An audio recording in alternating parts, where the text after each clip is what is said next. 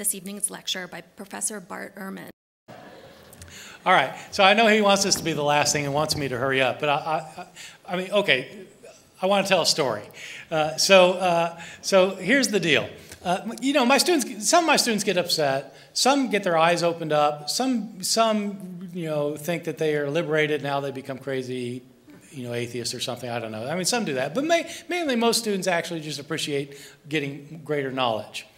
For me, actually, the stranger thing is that in my 23 years at Chapel Hill, uh, teaching 300, 500 students a year, I have never gotten a complaint from a parent.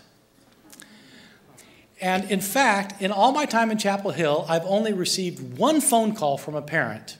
I mean, I've taught, so if I teach five, I probably have taught 400 a year for um, 23 years. And so I've, you know, I've taught 10,000 students. I've only got one phone call. So this was about 10 years ago, 12 years ago. I'm sitting in my office. I've just posted my final grades. And I get a, a, a mother calls me and I think, oh, here it goes. I'm going to get my first phone call complaining about a grade. Well, it was kind of that. She was complaining about a grade. Her daughter had taken my class and had gotten an F and had flunked out of school. Dr. Ehrman, I just wish you could change my daughter's grade. I said, well, I, you know, I, I can't just change your daughter's grade because you'd like me to. I, Doctor, I'm just praying to Jesus that you will change that grade.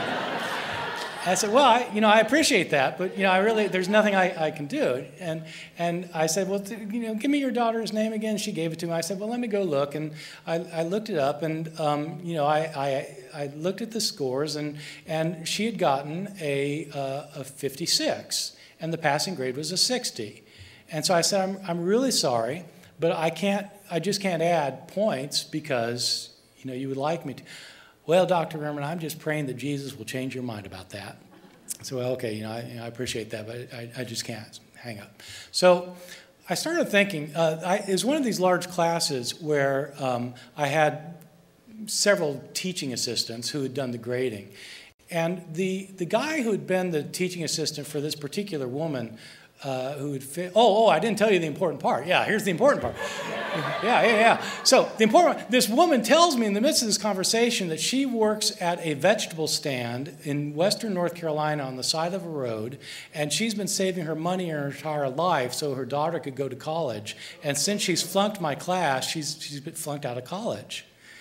And so I'm feeling terrible. I mean, you know, this, but you know, I can't just add four points. I mean, so what can I do? I mean, so I'm feeling bad. I, so I, I decided, well, I'm just, I'm going to look, you know, just look at this. So the thing was, the teaching assistant that this particular woman had is one of these guys who's really good in ancient history, but was never very good in math. And so I pulled out the grades and I said, you know, I'm going to recrunch these numbers. I re added them.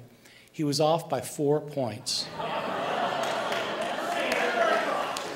absolutely true. This is not a legend.